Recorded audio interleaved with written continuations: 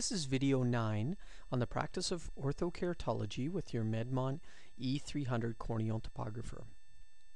Start with four quality baseline maps and highlight those four maps on the database side and then analyze them for quality. Look at the four of these images. Do you see any one map that looks like it should be thrown out or multiple maps that look like they're poor? In this case, map number 4 has a fairly low upper lid that's crossing a fair deal of the upper iris and the eyelash shadows are coming down and blocking some of the ring reflection. This gives us some false areas of flatness. Uh, three areas here that I think are of concern. If you look at maps number 2 and 3, they also show some missing information in this superior area, which may be the result of long eyelash shadows, where map number one appears to be the best image of the bunch. So map number four should definitely be unselected from our calculation. We could also look at the apical curvature. By clicking our cursor in the center of the topography, you can see we're 46.1, 46.3, 46.4, and 45.9 as central curvature. This map appears to be the flattest. These two appear to be the steepest. So th this map appears different from the others in appearance and also in central radius of curvature. Let's unselect it by holding down the control key and clicking on it in the database. Now we have the balance of our three maps and we can analyze which should be our best map to calculate our baseline initial orthokeratology lens. We also want to know which map will be best for doing comparisons when the patient has worn the lens. So let's look at the balance of the three, and it appears map number one has the most corneal coverage and appears to be the smoothest contours. So we'll highlight number one from the database. Let's eh, determine the candidacy for ortho-K. First, the patient has a fairly steep cornea, 45.9 as flat K. When we click our cursor in the center, we read 46.1 as an apical radius. We know that steep, steeper corneas respond best to orthokeratology as compared to flat corneas. Secondly, we know that high eccentricity eyes tend to respond better to orthokeratology than low eccentricity eyes. Normal eccentricity is 0.65. This patient measures 0.79. So we know that this patient is a, a better than average candidate for orthokeratology. Now, is this eye too astigmatic to be fit with a symmetrical orthokeratology lens? We wouldn't expect so with virtually nil for corneal astigmatism, only 0.1 of a diopter corneal cyl in this very spherical cornea. But if we were dealing with an astigmatic eye and we weren't sure, we could click on Analysis and Details. Then set your chord value for the diameter of bearing of your orthokeratology lens. In other words, at what diameter along your orthokeratology lens will it land on the eye?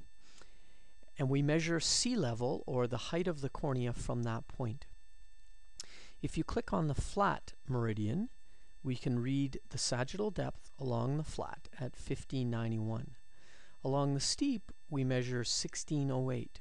The difference between our flat meridian in height and steep meridian in height is approximately 17 microns, which is a very small amount.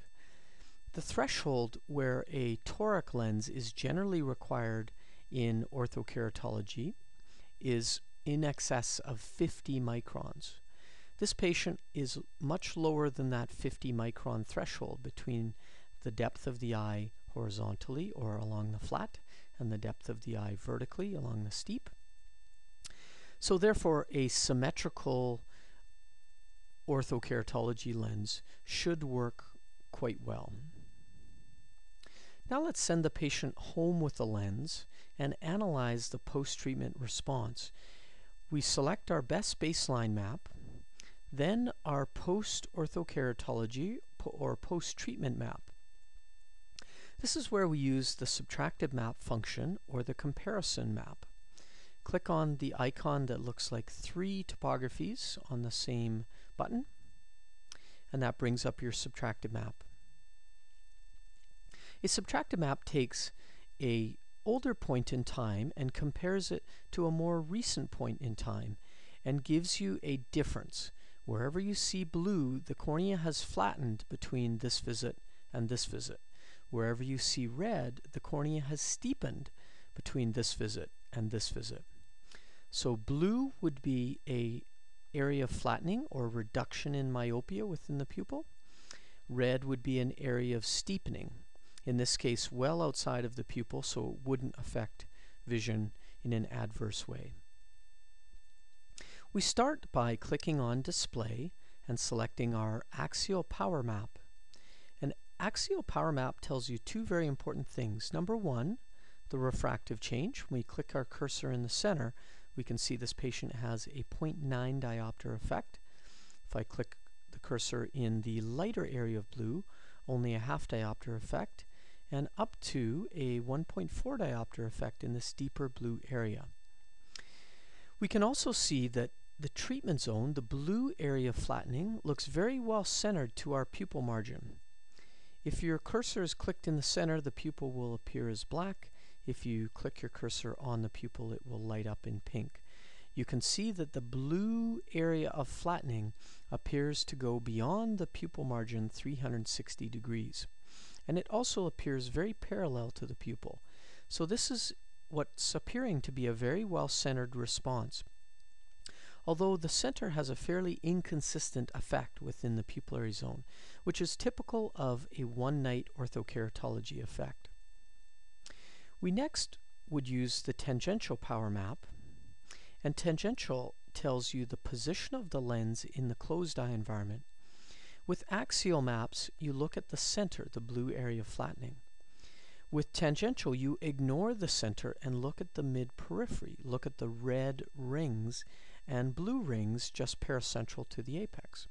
The red ring is where your reservoir of tear is on your orthokeratology lens, creating the greatest suction force.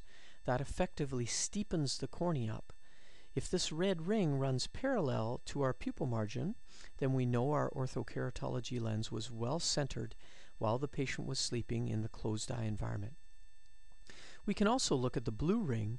This is the area where the lens lands on the eye and creates a compressive point.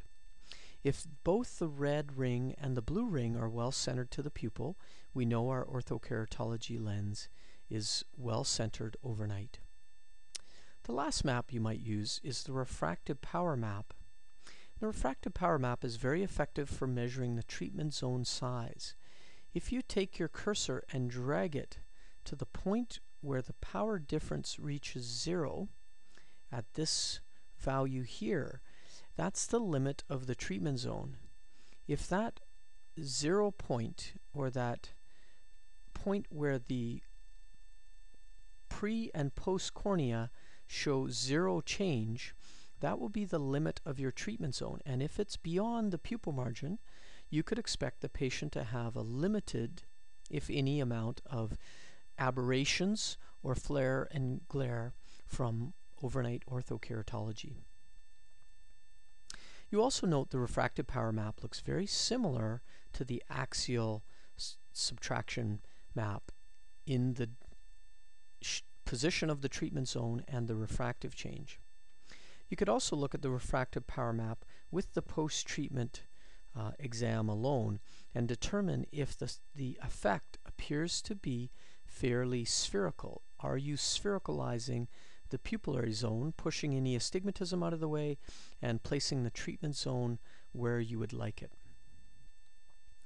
If we go back to an axial map, we can observe this patient after three consecutive nights of wear by unselecting, holding down the control key, and unchecking the one-day map and selecting the three-day map.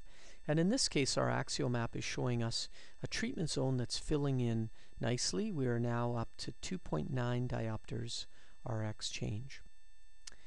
This concludes video 9 on the practice of orthokeratology with your Medmont E300 corneal topographer.